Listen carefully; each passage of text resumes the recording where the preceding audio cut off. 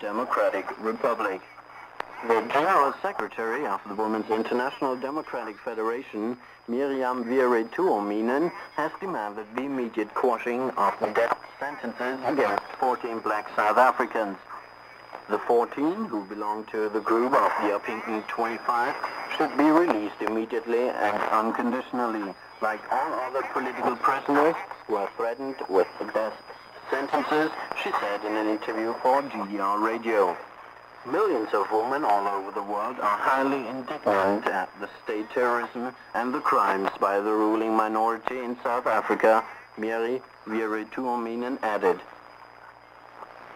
The Israeli occupation authorities in the Gaza Strip have begun to issue identity cards to the Palestinians working in Israel.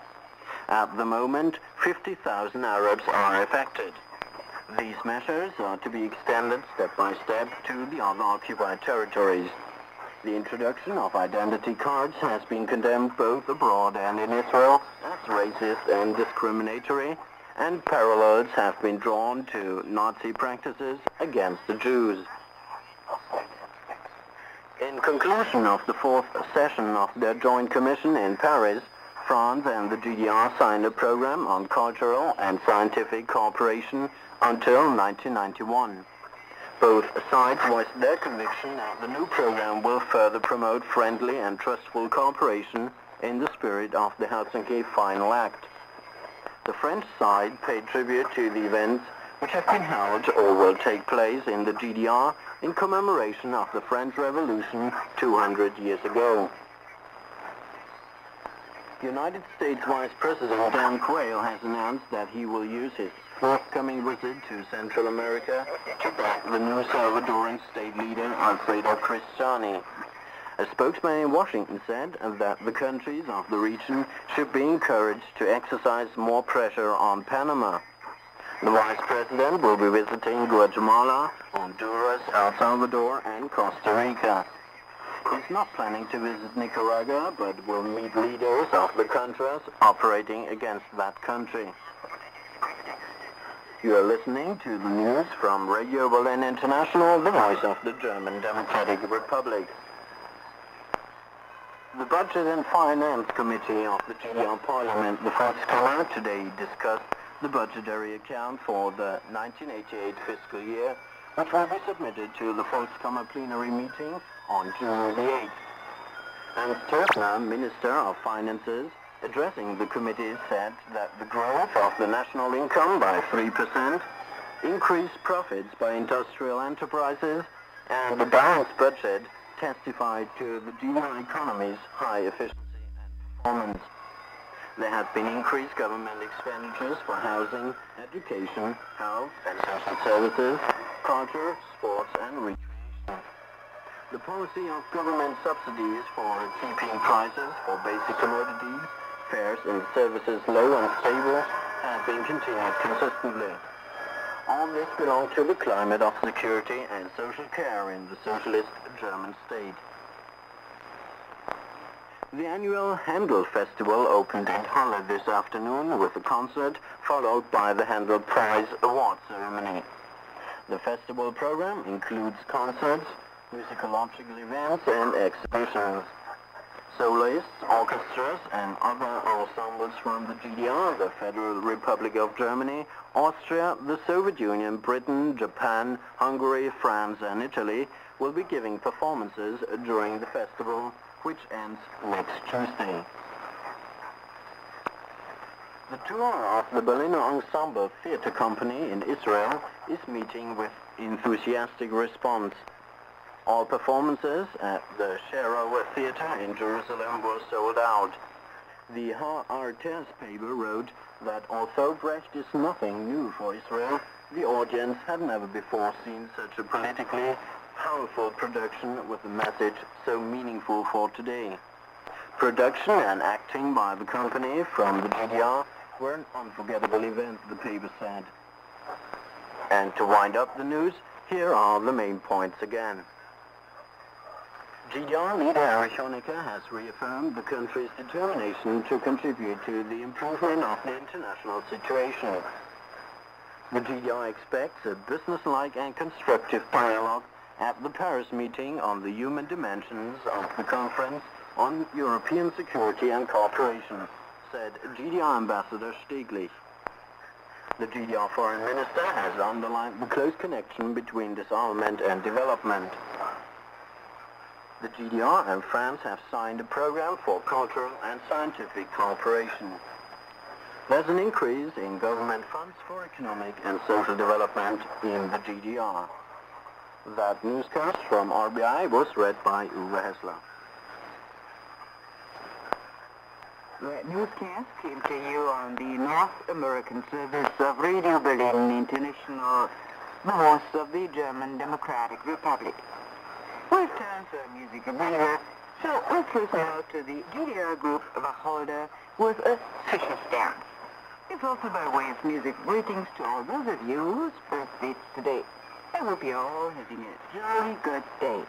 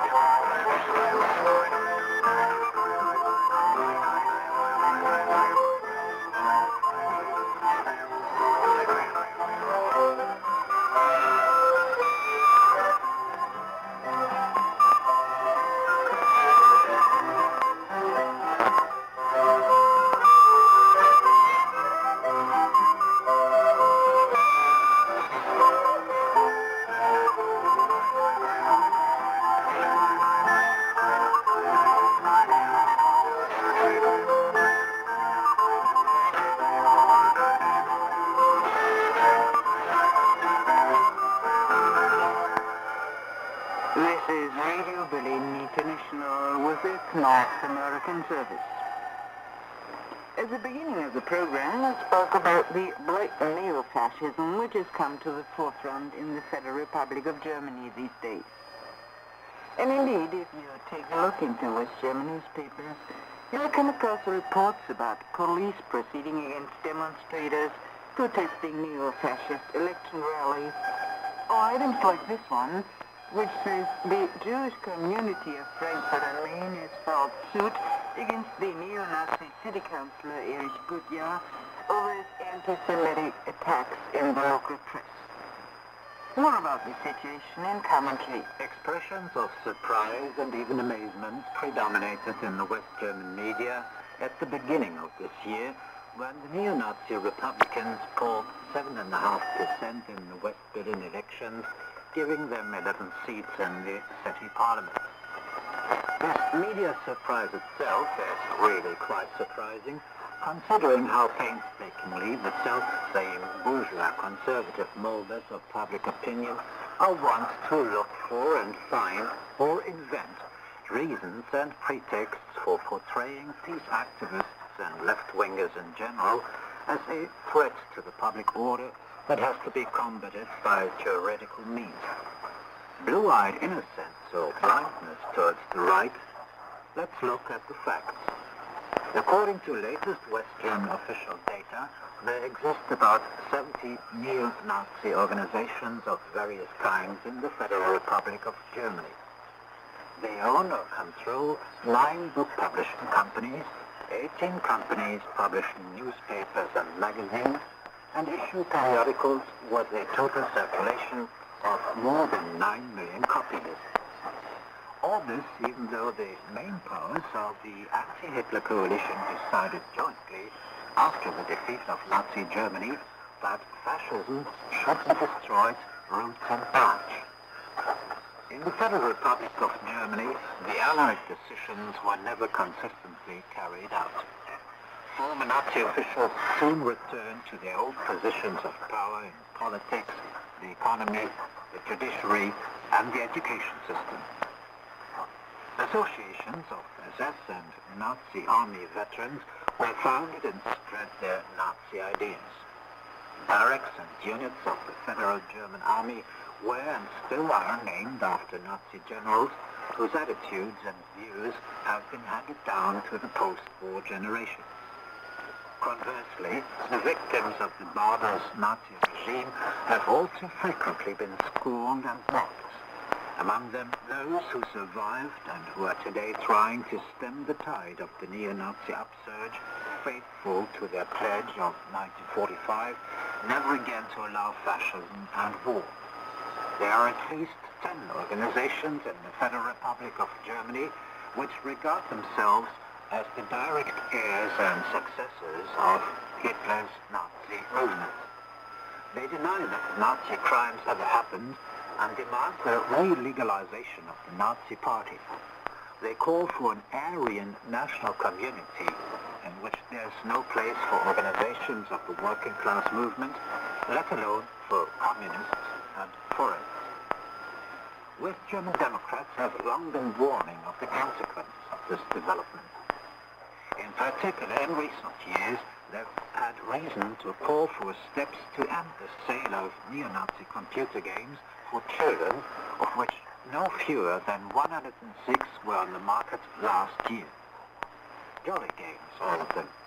Sending Jews to the gas chamber, hunting down Turks, playing concentration camp guard, dispatching the racially inferior to extermination camps.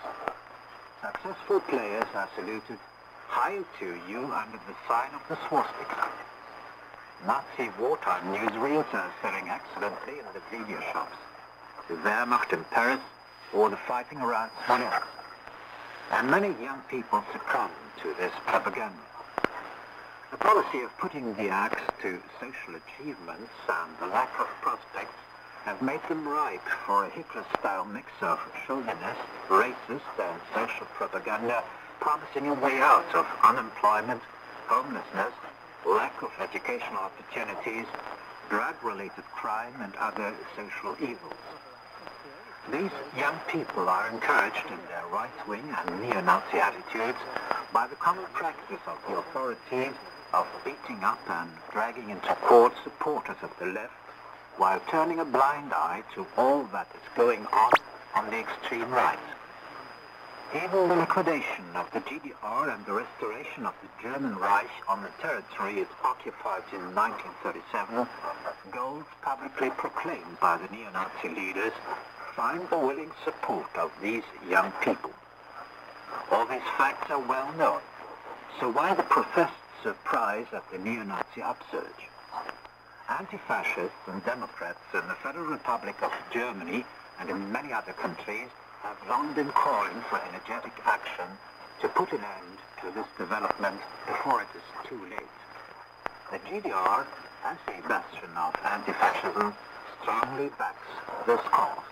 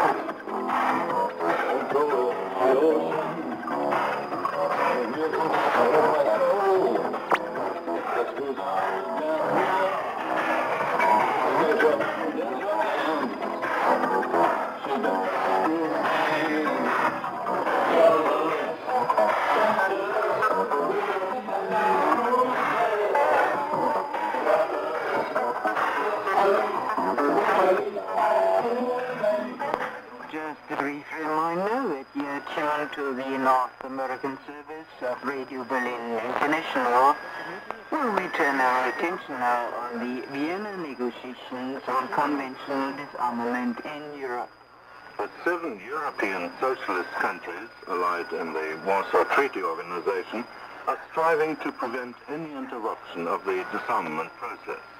Uh, this naturally also determines their stance in the Vienna negotiations with NATO on reductions in conventional forces and armaments between the Atlantic and the Ural Mountains. In fact, the socialist countries attach decisive importance to these talks, which began in March between the seven Warsaw Treaty countries and the 16 NATO countries. In the meantime, they have submitted a whole package of concrete and constructive proposals and have been filling in the details virtually week for week. It is our overall objective to achieve drastic cuts in the entire conventional military potential in Europe in several stages. Ultimately, both sides would be left with no more troops and armaments than are needed for national defense. Stability and security in Europe would be improved in this manner, and any possibility of surprise attack would be ruled out. The Warsaw Treaty countries have proposed identical ceilings on both sides on the number of troops, strike aircraft, tanks, and other armaments. These ceilings would require deep cuts by both the Warsaw Treaty Organization and NATO, having a preponderance in any given category having to carry out the larger reduction. All told, implementation of this proposal would cut troop strength in Europe by about 2 million men, and tens of thousands of tanks and artillery systems, and thousands of combat planes and helicopters would be eliminated. We have also proposed ceilings on the number of troops stationed in Europe outside the national borders of their country of origin. Within the Warsaw Treaty Organization, this would apply to Soviet forces stationed in allied countries, and within NATO to US, British, Belgian, Dutch, and Canadian forces stationed in the Federal Republic of Germany and some other West European countries. It would also be desirable, not least from the GDR point of view, to limit the offensive potential of the two sides in Central Europe as soon as possible, because that is the region where the two alliances directly face one another. The head of the GDR delegation in Vienna, Ambassador Klaus-Dieter Ernst, submitted a proposal on this a few days ago. Speaking for the seven socialist countries, he proposed drastic cuts in the conventional potential in this region, comprising the GDR, Czechoslovakia, Poland, and Hungary on our side, and the Federal Republic of Germany, Belgium, the Netherlands, Luxembourg, and Denmark on the other. In addition, identical ceilings should be imposed on both sides. According to this proposal, each side would be left in this region with 570,000 troops, 420 tactical strike planes, 800 helicopter gunships, 8,700 tanks, 14,500 other armored combat vehicles, and 7,600 artillery systems. We believe that this would increase security in precisely that region where the world's greatest military potential is concentrated. All the various proposals made by our side, and also the unilateral cuts in forces and armaments which we are carrying out, are intended to give a boost to the Vienna negotiations. It has also to be pointed out that these proposals largely take into account Western ideas.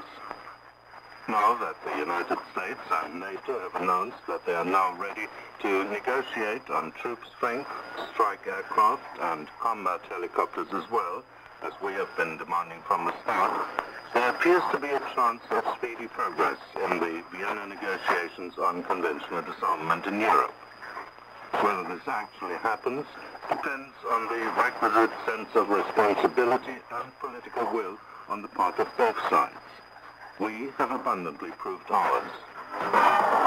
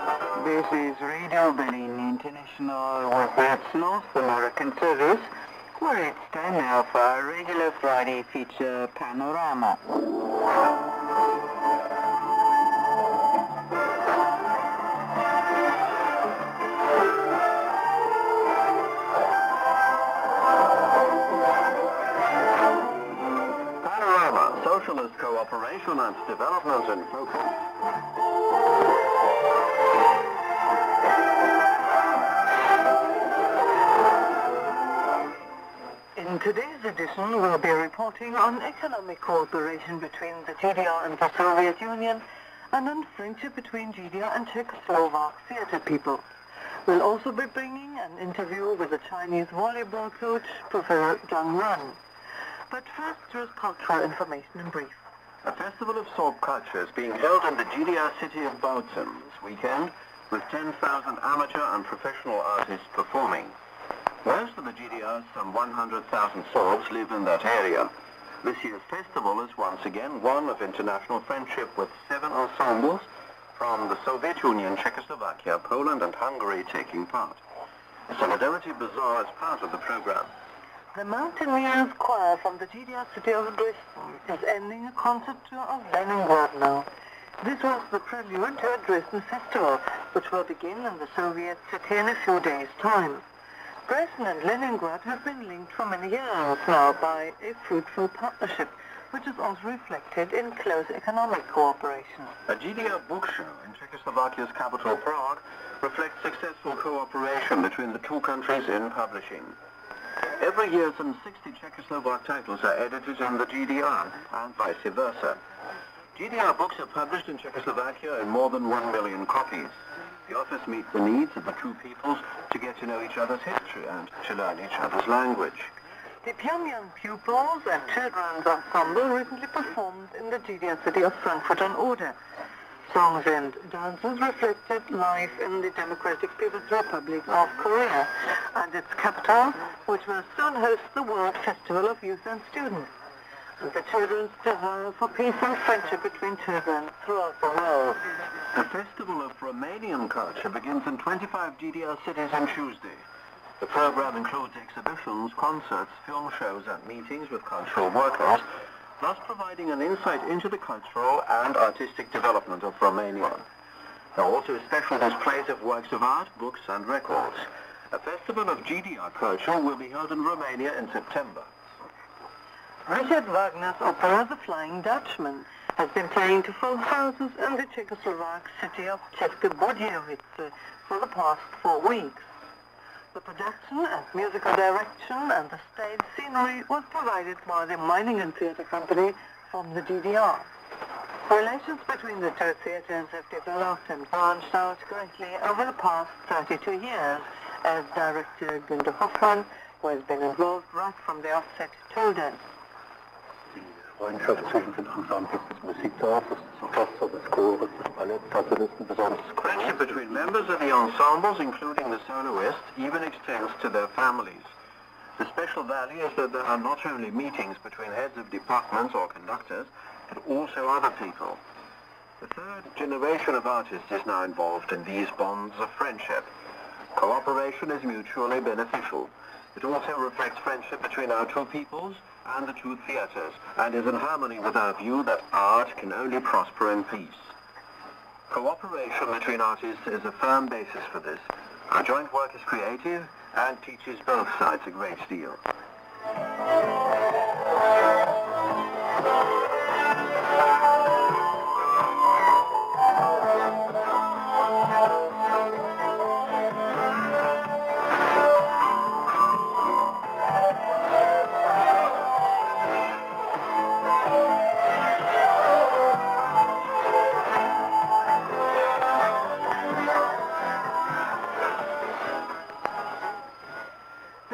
National volleyball team plays against the national teams of Belgium, Turkey and Romania at the beginning of this month in a qualifying tournament for the European Championship.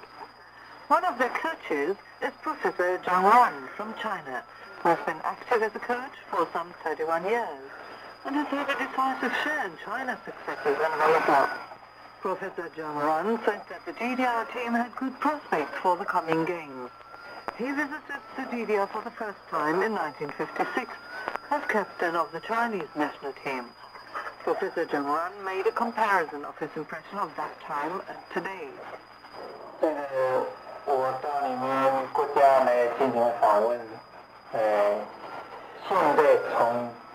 I hardly recognize Berlin.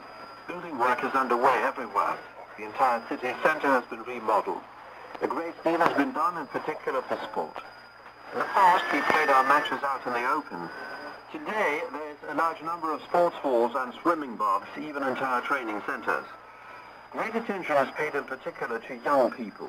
I was impressed by the great interest in sport shown by the people of the GDR. I regard the wide popular appeal of sport as one of the reasons for the high reputation of GDR sport, not least for the GDR's second place at the recent Olympics in Seoul.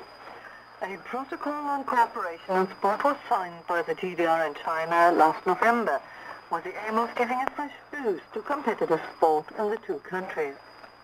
Professor Zhang Ran told us,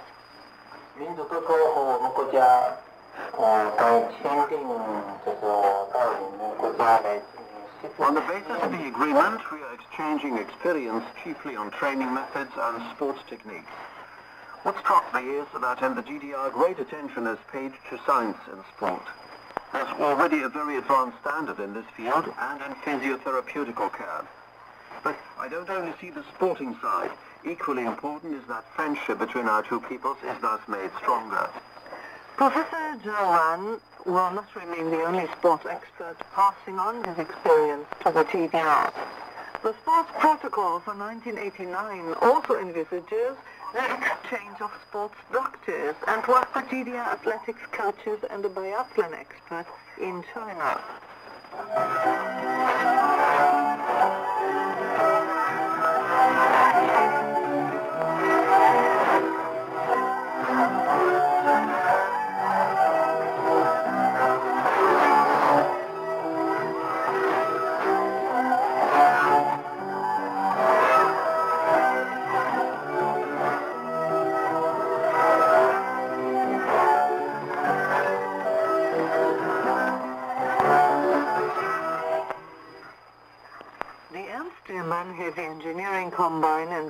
City of Magdeburg, SKET for short, has been delivering machines and equipment to the Soviet Union for more than 30 years. Almost every sixth ton of steel in the Soviet Union is rolled on plant made in Magdeburg.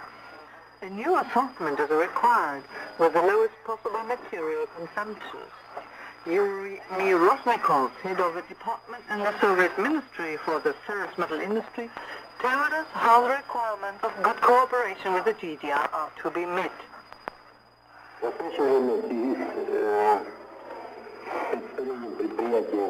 The enterprise is concerned in the Soviet Union and the GDR have found new forms of cooperation which are beneficial in every respect. We jointly design and develop pilot plants under the practical conditions of the user enterprise. This enables us to develop and set up new plants more quickly, and also to bring it up to full capacity very quickly. An example of this is the rolling mill in Moldavia set up by SKET. But of course, there is a constant need for further improvement and updating. And with our great experience in steel production, we are able together with the SKET designers to cope with new demands. As a result, the highly advanced rolling plant in the Amur steel combine already incorporates improvements over that in Moldavia. As for other projects, we are also busy modernizing older plant from the DDR. I'd like to stress that plant made by SKET is of very high quality. And this is the great merit of the designers and workers of the combine with whom we also have friendly private contacts.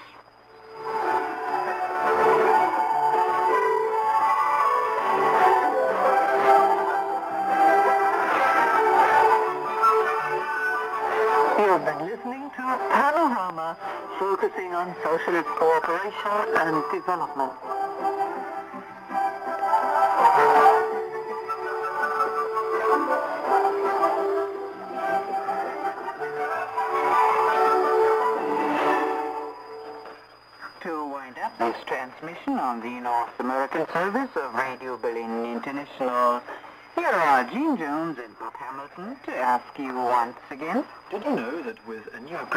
Exchanging information drawn up in April, everything is shipshape now between the Rostock Shipping Company and the Ministry for Shipping in the Soviet Union? These exchange arrangements have been in existence for 10 years now. It's better than being all at sea, and the information has been steadily updated over the years, with the Soviet experts now learning the latest about safeguarding coastlines and putting material dredged from the beds of shipping lanes to good use. At the Rostock end, the experts are well on the road to making more effective use of floating bucket excavators. They're all in the same boat, really, and a lot of water has flowed under the bridge, of course, especially in the area around Senftenberg, not far from Cottbus. Did you know that there, where many open-cast mines provide the power industry with lignite or brown coal, is the largest man-made lake in the GDR? The Senftenberg Lake was once an open cast mine, like many others in the GDR, but was converted into a recreational area a few years ago after it had been worked out. The authorities worked out that there was enough room for a large island in the middle of the lake, which in the meantime has become a sanctuary for about 60 different kinds of birds. All of a feather, no doubt. But did you know that reading between the lines often puts people on the right track? I read the other day that no less than 26 tracks go towards making Leipzig the oldest railway terminal in the world and the biggest in Europe. The covered area alone of the main station is big enough to hold 12 football fields. Not letting the grass grow under their feet, the authorities are playing around with the idea of turning the station into a technical museum eventually, which is just a ticket ready for keeping everything nicely on the rails. And continuing this train of thought, did you know that during the last 20 years, 12,000 children have travelled to the health resort of Jessen in the district of Cottbus for special treatment at the children's sanatorium there? With a sauna and solarium having been added to the facilities recently, they're sure of their place in the sun. Boys and girls suffering mainly from recurring infectious diseases go on cures there, which last four weeks, and which include relaxing walks, cold showers to build up their resistance to infections, special massage, and exercises for posture and feet. Footing the bill is the state's job, of course, since all cures in the GDR are free. Well, prevention is better than a cure, but they have saved many a patient's bacon.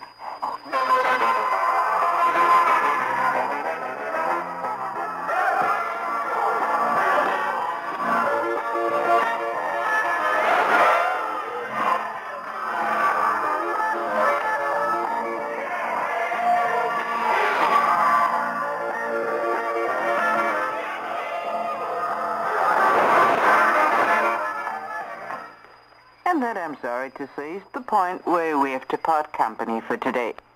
I hope you enjoyed listening, and we'll join us again whenever your time permits. Until then, this is Euros Evelyn Cyrus bidding you all goodbye. You've been listening to a broadcast of the North American service of Radio Berlin International, the voice of the German Democratic Republic. We broadcast to the East Coast at 2100 and 2145 hours UTC on 9.730 megahertz or 30.83 meters, and at 2345, 0100 and 0145 hours UTC on 6.080 megahertz or 49.34 meters, and on 11.890 megahertz or 25.23 meters. West Coast listeners can receive us at 0145, 0300, and 0345 hours UTC on 11.785 megahertz or 25.46 meters, and on 15.125 megahertz or 19.83 meters. This is a regular daily broadcast designed to acquaint you with the people of the German Democratic Republic, who are busily engaged in building a state devoted to lasting peace, friendship, and prosperity for all. And now, until next time, we say goodbye to you all. Thank you.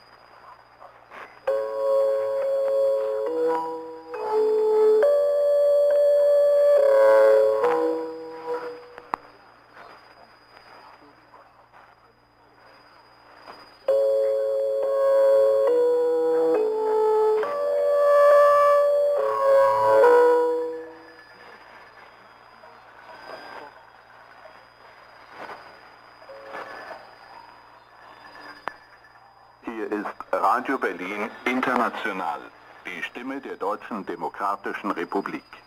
Mit dem Programm in deutscher Sprache.